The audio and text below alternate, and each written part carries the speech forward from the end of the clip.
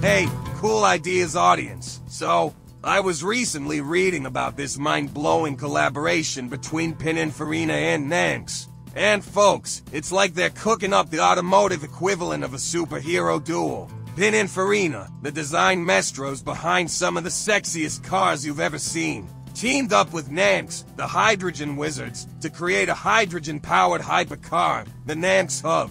Now, I know what you're thinking, hydrogen. Isn't that what I put in balloons at birthday parties? Well, buckle up, because we're taking it to a whole new level. So, Pininfarina, with their history of making cars so beautiful they should be illegal, decided, hey, let's go green. And who better to go green with than NamX, the rebels of the hydrogen game. Now, NamX brings this game-changing CapX hydrogen capsule to the party, giving the NamX HUV a range of 800 kilometers. That's like driving from New York to Boston and back without breaking a sweat, or in this case, without breaking the hydrogen bank, and they're not stopping there.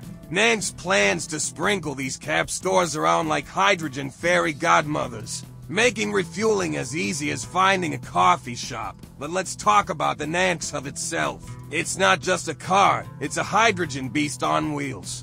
They've got a base model starting at 68,000 to $100. That's less than some luxury electric cars. And for that price, you get 300 horsepower, a top speed of 120 for miles per hour, and a 0 to 60 time that won't leave you questioning your life choices to 6.5 seconds. Folks, now, if you're feeling a bit fancy, Splash out for the GTH trim. It's got 500 horsepower, all-wheel drive, and a 0 to 60 timer for 0.5 seconds. That's sports car territory, my friends. But here's the catch, the NamX HUV is still in the concept phase. We're talking about a glimpse into the future. A hydrogen-powered utopia set to hit the streets in 2026. So, mark your calendars, because this is not just a car, it's a statement. In a world where electric vehicles are stealing the spotlight, Pininfarina and NamX are stepping up to remind us that hydrogen is not just for Zeppelins and